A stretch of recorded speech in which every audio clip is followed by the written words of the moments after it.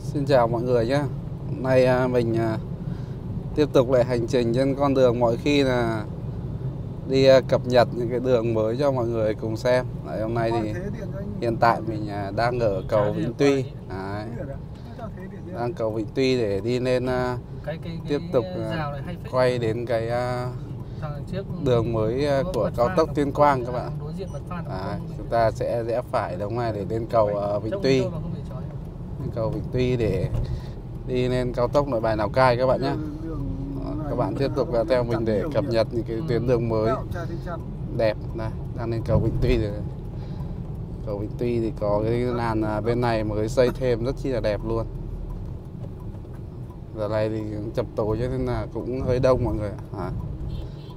xe máy, ô tô đường này được đi 60 nha mọi người. Xe máy thì được đi 40 còn ô tô được đi 60 rất là đẹp luôn. Đây là tuyến đường à, Võ Nguyên Giáp về đêm các bạn đường đi ra sân bay đây. Gần Tết rồi cho nên là ở hai bên đường được trang trí rất là đẹp. Các cái ờ, hình biểu tượng của Hà Nội và hai hàng cây được thắp đèn sáng nha các bạn nhé. Đường ờ, cao tốc Nhật Tân Nội Bài đấy rất là đẹp. Hôm nay thì giữa tuần cho nên là đường thoáng mọi người đi, đi thoải mái không bị à, gò bó tốc độ luôn. À. đường này cho chạy à, 80 và 90 nha các bạn. Làn ngoài cùng này được chạy 90 và những làn còn lại cho chạy 80 thôi. Sân bay nội bài 5,8 km à. đường rất là đẹp. Toàn tuyến đều được thắp đèn hết các bạn nhé. Thắp đèn toàn tuyến sáng choang tránh uh, trường hợp phi công hạ cánh nhầm đường băng. À. trước mặt chúng ta đây là hướng từ cầu thân uh, sân bay đi ra đường vào cao tốc nội bài lào cai các bạn nhé.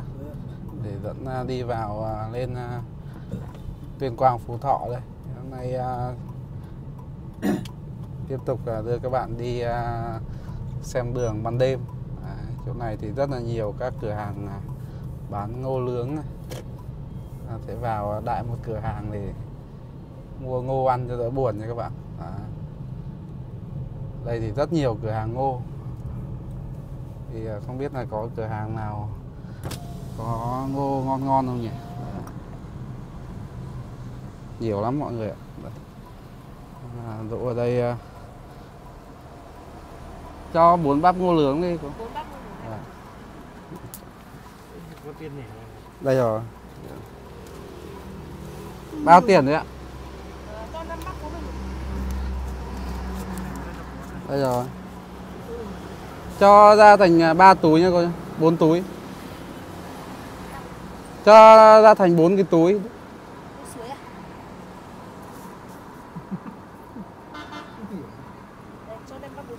À cho thêm mấy cái túi. À được đây ngô các bạn ngô nướng này nướng chín như đây? Nhìn khá là thơm. Ok. Đó, có mấy bắp ngô rồi các bạn. Rồi mời các bạn cùng ăn ngô nhá. À, ngô nướng này rất là ngon. À, 40.000 năm bắp các bạn. Ở đây à, hàng ngô phải nói là rất là nhiều cả một dãy luôn các bạn nhé. Ăn mệt nghỉ. Chỉ thêm à, mấy trăm mét nữa là đã nhập vào cao tốc nội bài lào cai đây các bạn này. Cao tốc 05 đi thẳng thì là hướng đi à, vĩnh yên các bạn. Rẽ phải thì là nội bài lào cai. Đấy. còn à, cua bên phải thì là nhà thi đấu à, sóc sơn. Chỗ này thì à, chúng ta sẽ rẽ trước đèn đỏ các bạn nhé. Đi ở đây thì à, cũng dễ đi thôi dành cho ai chưa biết thì xem thôi. À, tôi chỉ cần đa số là mình nghĩ là nhiều người đi quen cái đoạn này rồi. Mình sẽ quay để cho những ai mà chưa đi thì xem để có thể là đi cho nó đỡ bị nhầm. À. trước mặt là hướng một hướng rẽ đi à, Đông Anh và một hướng à, đi thẳng vào cao tốc thì ta đi theo bên trái. Theo hướng bên trái và chạy thẳng thì vào cao tốc nội bài Lào Cai mọi người chỗ này có đèn đỏ lưu ý là vượt chỗ này là dễ bị à, phạt nguội các bạn nhé. Đi thẳng đây vật sinh ăn trái thì chúng ta vào thẳng cao tốc thôi. Cao tốc ở đây thì không có đèn như ở cao tốc à, à, Nhật Tân Nội Bài đâu các bạn ạ. Đuối thui luôn. Thì nữa đến đoạn rẽ thì mình tiếp tục quay cho bạn xem. Đây là cái đoạn đến cầu vượt các bạn nhé. Cầu vượt sông à, Lô. Thì chỗ này là cho chạy có 80 các bạn ạ. Ở đây thì chuẩn bị đến nút giao của IC8 này. Ta đi đoạn này thì lưu ý nhé. Đường uh, trên cầu địa phận của Phú Thọ km 48 cộng 260 Đấy. chỗ này thì đèn thì cái có cái không các bạn cầu sông Lô, đấy. Mỗi bên hai làn đường. Chỗ này rất nhiều xe bị phạt nguội vì chỗ này có cam phạt nguội các bạn nhé. Chỉ chạy à, 80 thôi. Nhiều người không để ý cứ giữa cao tốc là cứ bắn 100 thì đầu ra chắc chắn là sẽ gặp các anh uh, cho các ừ, một tờ biên bản. Chạy thì uh, chú ý những cái uh, điểm như thế này thì các bạn lưu ý là dễ bị quá tốc độ ấy. À. và cũng không được vượt trên cầu luôn. Sau khi đi được khoảng à, hơn 80 cây thì đã gần đến IC8 các bạn nhé. Trước mặt đây là nối ra của trung tâm à, thành phố Việt Trì. À, biển đoạn này đang làm đường hơi xấu.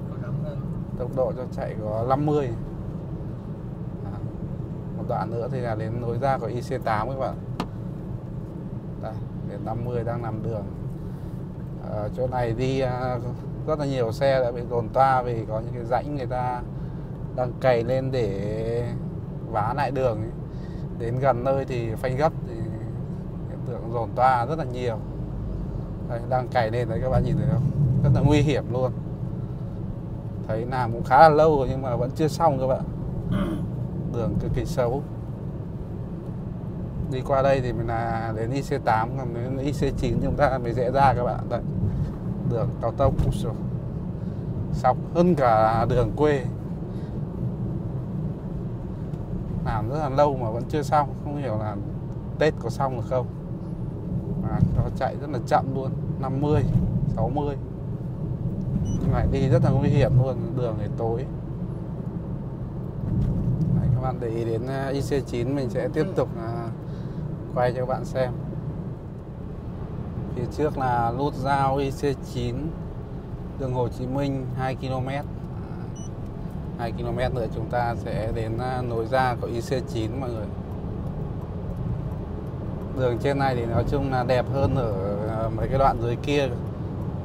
Đang là do ít xe to đi nên là đường thấy khá là đẹp. Gần như là còn nguyên luôn đấy, chưa có sửa chữa. Đoạn nào mà sửa chữa thì nhìn biết ngay rất là xấu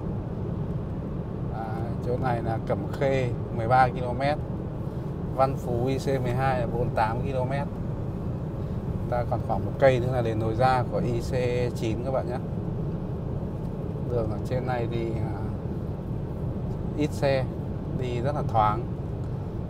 Một km nữa này, chúng ta đi chú ý những cái biển người ta thông báo đây thì đỡ bị chạy quá nhé. chạy quá mà ở đây thì, để mà quay được lại thì rất là mệt rất là xa luôn không phải là mệt mà rất là xa luôn mấy chục cây luôn. Đấy, khi đi qua một cái cầu vượt này thì là sẽ đến đường ra. Và nhớ để ý cầu vượt là được. IC9 500m xã Phú Thọ khu công nghiệp Phú Hà cao tốc Tuyên Quang. Ghi rất là rõ mọi người nhé. Đi hẳn cao tốc Tuyên Quang luôn đấy. Đi qua này là cầu cầu ờ, vượt ờ, đường bộ chỗ này đèn đóm sáng rất sầm uất của thị xã Phú Thọ. Phía xa xa kia chúng ta đã nhìn thấy lối ra rồi. Đấy, đang có một số xe đang ra rồi. Chỗ này thì họ cho chạy à, tốc độ ra là 60 với 80 nha mọi người. Chú ý tốc độ ở đây. Chiều cao an toàn 6,2 mét. Biển đặt rất là thấp luôn nối ra 80 đặt thấp quá đặt thấp hơn cả cái lan can à, à ở bên đường luôn. Khuất cả bụi chuối. Nối ra thị xã Phú Thọ. Ở chỗ này thì ra thì sẽ hết à, 97.000 là chưa thu à, chưa tăng giá phí à, cao tốc Lào Cai các bạn ạ. Không biết điểm ra này có tăng phí không nhưng mà có nhiều nút ra là chuẩn bị tăng phí. Ở chỗ này ra ở đây là soát vé, có hai làn tự động. Chúng ta sẽ đi thẳng nhé. Trước là phải đi vòng, bây giờ đi thẳng. Sau khi ờ, ra qua cái soát vé này thì là biển đông dân cư các mọi người. Tốc độ chỉ đi được 50 thôi, thì chỗ này chúng ta đi thẳng. Đi thẳng theo hướng phù hộ nha các bạn nhé. Đâm thẳng một phát sang bên kia luôn. Không có đèn xanh, đèn đỏ gì cả. Cứ thế là vít này có rất nhiều xe tải đỗ đây chắc ăn cơm hay làm lốp gì đấy. Thị xã phú thọ biển à, rõ ràng cho ô tô và xe máy đây. Đường này đi 50 thì nói chung là cũng thoải mái để mà quan sát các bạn. Không phải à, lo nghĩ gì cả. Chỗ này hết biển 50 rồi. Ta đi thoải mái nhé chú ý những cái biển này vì à, ta không quan sát thì dễ bị phạt tốc độ lắm. Ở đây thì có biển báo ờ, giao nhau giữa phú hộ và cầu cái gì tháp đấy. Chúng ta sẽ trái ở đây sẽ trái bên này thì để đi ra đường Hồ Chí Minh. À, sẽ trái ở đây. Chỗ này có một cái ờ, vạch vàng ở giữa mọi người ạ. Đi theo cái phản quang này thì chúng ta sẽ qua một cây cầu. À, đi theo vạch vàng nhé mọi người. Như này chúng ta đang ờ, rất dễ bị nhầm giữa cái làn ngược chiều này chỗ này bên kia thì họ mở rộng có hai làn còn bên phía mình có một làn thôi. Đấy, qua cái cầu này thì sẽ tiếp cận gần đến cao tốc. Rồi thì hôm nay mình sẽ chỉ cho các bạn cái lối mà để đi vào cao tốc Tuyên Quang nhé.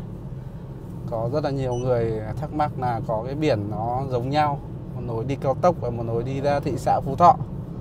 Làm hai cái biển giống nhau thì rất gây hiểu nhầm nay mình sẽ quay à, chi tiết cái đoạn đấy để mọi người cùng xem. Là đi nơi nào cho chính xác tránh đi nhầm mà đi nhầm ở cao tốc thì thực sự là quay lại rất là mệt rất là xa luôn. À. chỗ này chúng ta vẫn tiếp tục đi thẳng. Đây có một ngã tư giao nhau với đường dân sinh. À. chỗ này thì không giới hạn tốc độ rồi các bạn chắc là được đi 80 vì uh, lúc nãy đã hết biển uh, hết biển khu dân cư rồi. Mà hết cái biển cảnh báo biển báo ấy thì chúng ta chạy thoải mái. Đường Hồ Chí Minh thì rất là rộng luôn. Không kém với đường cao tốc. Cao tốc lỗi bài Lào Cai đoạn từ Yên Bái lên sợ còn không đẹp bằng đường này các bạn. Đường này đi uh, mất một đoạn này khoảng uh, cây. Nhưng mà tính từ đầu ra của cao tốc thì đến cao tốc Tuyên Quang chắc mất khoảng hai cây số các bạn nhé đi đến đoạn này thì rất là dễ đi rồi. Chúng ta nhìn rõ hơn không ạ? Cái này biển đi Tuyên Quang là đi thẳng mọi người. Đi thẳng à, đi vào cao tốc. Này rất là nhiều hàng quán chúng ta chú ý những xe ra vào ở đây. Thì gần đến một cái biển à, gọi là gây khó khó đi và hiểu nhầm cho mọi người các bạn nhé. Chỉ mấy trăm mét nữa là đến à, đường vào rồi. Thì chúng ta vẫn cứ đi thẳng ở đây biển báo cũng khá là rõ là đi Tuyên Quang hoặc đi quốc lộ 2 nhưng mà chỗ này chỉ cho đi 50 này. Đấy, lưu ý không là lại chạy quá tốc độ mọi người. À, ở đây thì có đèn đỏ nhé đèn đỏ thì đi thẳng thì vào cao tốc này đi phải quốc lộ 2 cái biển hôm trước thì mình thấy mọi người à, có thắc mắc gây hiểu nhầm nhưng mà hôm nay chắc là họ đã sửa chữa thay đổi rồi không còn thấy ở đoạn này thì chúng ta đi thẳng ở đây thì là vào thẳng cao tốc luôn không có cái biển à, gây hiểu nhầm nữa các bạn. À, rất là đơn giản thôi. Thì mình đã chỉ cho các bạn là đi vào thẳng cao tốc rồi nhé đây bên này là hướng đi ra thị xã Phú Thọ các bạn này cũng rất là đẹp đường rất là to đẹp luôn cao Ờ, tốc ờ, uh, Tuyên Quang Phú Thọ cho chạy 90 tốc độ cao nhất các bạn ạ và 60 là tốc độ ờ, thấp Đấy. vào đây thì đường thì rất là mới này hai bên phản quang sáng choang Đấy. mà vào đây thì cứ giữ đúng 90 mà chạy mọi người nhé không phải lo cái vấn đề tốc độ ở đâu nếu mà chúng ta mà đi thẳng lên đến Tuyên Quang thì cứ cái ôm cái làn bên trái thì chạy 90 không cần phải giảm đoạn nào các bạn ạ không có đoạn nào giới hạn tốc độ như đường à, nội bài Lào Cai, có đoạn giảm 80 nhưng mà riêng đường à, cao tốc à, Phú Thọ Tuyên Quang thì 100% là 90 hết. Chỉ có nối ra thì mới giảm thôi còn tất cả từ đầu đến cuối tuyến thì vẫn là 90 100% các bạn nhé. Khoảng 40 cây. 40 cây nữa thì chúng ta sẽ ra đến vòng xuyến ở đầu đường tránh Tuyên Quang. Rồi đi qua đường tránh thì chúng ta nhập vào cái đường từ bệnh viện phương Bắc của Tuyên Quang đi lên à, cây 15 à, cây 14 chỗ Yên Sơn các bạn. Rất là thẳng, đường rất là đẹp. Mình đã chia sẻ đến mọi người rồi thì mọi người có thể vào trong à, để xem lại những video cũ của mình. Đấy. nay mình quay lại chi tiết cái hướng đi từ cao tốc nội bài Lào Cai đến IC9 sẽ vào thì hôm trước mình chỉ quay một đoạn đến đầu cao tốc mà chưa đi được vào. Thì hôm nay mình quay rõ cái chiều vào đầu IC9 các bạn nhé. Từ đây là chúng ta cứ vít thẳng thôi không còn về rẽ ở đâu cả. Gần đến đoạn ra tuyên quang rồi mọi người đoạn này thì đang mưa rất là mau hạt. Đang xuống dốc như các bạn nhé. Đoạn này à, cao tốc nhưng mà xuống dốc khá là cao. Gạt mưa đảo túi bụi. Đoạn này gần hết cao tốc rồi. Chắc là còn à, khoảng mấy cây nữa là ra đến vòng xuyến tuyên quang. Khá là nhanh. Đi từ à, cầu Vĩnh Tuy mà lên đến Tuyên Quang thì chưa đến 2 tiếng các bạn. Hiện tại bây giờ mình có 9 giờ kém. Mình đi lúc 7 giờ hơn một chút thì chưa đến 2 tiếng là đến Tuyên Quang các bạn nhé. Chung là rút ngắn thời gian rất là nhiều. Trước đi về tầm à, 3 tiếng. Bây giờ chỉ còn à, dưới 2 tiếng là đến Tuyên Quang. Đấy, thời gian à, được rút khoảng một tiếng cái là tốn tiền vé hơn một tí. Đấy. đây các bạn ơi khi hết cao tốc là đã ra đến vòng xuyến tuyên quang nhé. Chỉ đi uh, tránh uh, tuyến tránh tuyên quang này đi tuyên quang hà giang này. chỗ này chạy 60 các bạn phía trước là biển báo kết thúc cao tốc và đi vào vòng xoay các bạn nhé. Và vòng xoay này thì chúng ta sẽ đi vào cái vòng xoay lớn phía trước kia để để đi theo hướng bên trái. Đây đi theo cái mũi tên ở đường đây thì chúng ta sẽ đi thẳng vào vòng xuyến này. Cái này có biển cấm rẽ trái mọi người lưu ý nhé. Đấy, cấm rẽ trái không thì chỗ này giao với đường cao tốc ờ, đường tránh tuyên quang và quốc lộ 2 đi thẳng ở đây thì là đi vào thành phố tuyên quang nhé. À, và chúng ta sẽ rẽ trái ở đây để đi ra đường tránh này. Vòng xuyến khá là rộng. Đi ở đây thì à, khó định hình, nếu mà ai đi chưa quen thì rất khó định hình cái hướng đi. Thì các bạn xem qua video này thì cũng à, phần nào hiểu được hơn về cái hướng chúng ta đi. Chúng ta có thể à, xem trước để hình dung cái tuyến đường mà sắt đi như thế nào để ta định hình nó dễ hơn. Đây là đoạn này đang đi ở trên à, đường tránh tuyên quang này mọi người. Đường này chạy 90 thoải mái nhé, hơi tối một tí thôi. Đèn thì đoạn có, đoạn không họ cũng à, đang à, cào mặt đường lên để có chỗ làm lại nhưng mà vẫn còn à, rất là xấu. Hy vọng sắp tới thì tỉnh Tuyên Quang sẽ thảm lại cái mặt đường để nó được đẹp hơn cho khách du lịch và người dân đi lại nó được an toàn trải nghiệm nó tốt hơn các bạn. À, chỗ này thì đoạn này tránh được khoảng 6 7 cây gì đấy. Thì nữa mình sẽ quay tiếp cái đoạn đi vào đường Ờ, khu ờ, đô thị mới của chỗ bệnh viện phương Bắc đi lên Yên Sơn nha các bạn. Để cho ai chưa xem thì có thể xem lại để hiểu rõ hơn cái đường tránh ờ, đi từ Tuyên Quang lên Yên Sơn rút ngắn được khá là nhiều và không bị đi đường cua các bạn nhé. Đường thẳng tắp đẹp như đường băng sân bay ấy. gần hết đường tránh này mọi người này. Đấy, có biển đông dân cư đi này muốn đi rồi tránh à, thì chúng ta rẽ vào à, bên tay phải, đi đến chỗ vòng xuyến kia rẽ nha mọi người. Rẽ đây chỗ này là có hai lối rẽ vào thì mình đi cái lối à, bên trên nhé hơi phát âm sai, chữ L, mọi người thông cảm. À. chỗ này chúng ta sẽ rẽ phải, đi thẳng thì cũng đi được, quốc lộ 2 nhưng mà chúng ta đi bên phải này thì nó sẽ thoáng hơn.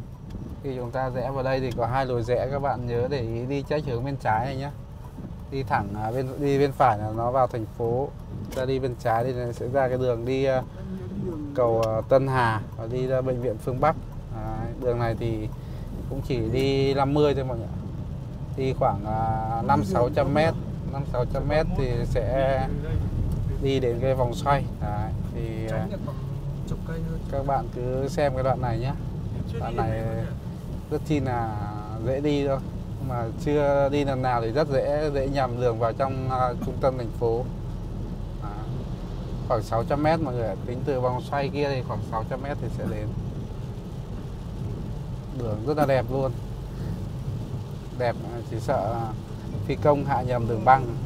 Nghĩ là đường băng của sân bay. Thẳng tắp. Đây, các bạn ơi, chỗ này là đến cái vòng xuyến của bệnh viện phương Bắc thì chúng ta sẽ đi theo vòng xuyến và rẽ theo hướng bên trái các bạn nhé. Đi thẳng thì sẽ ra cầu Tân Hà, đi trái đi Hà Giang rẽ phải vào thành phố Tuyên Quang chúng ta cứ để ý làm sao đến cái chỗ mà bệnh viện đa khoa phương Bắc thì chúng ta sẽ rẽ trái là sẽ đến cái đường tránh các bạn. Chỗ này đi với rẽ phải vào thành phố Tuyên Quang cả một đoạn nữa nhưng mà mình sẽ đi nơi này cho nó dễ thôi. Và khi di chuyển sang bên này thì sẽ vào cái đường đôi này.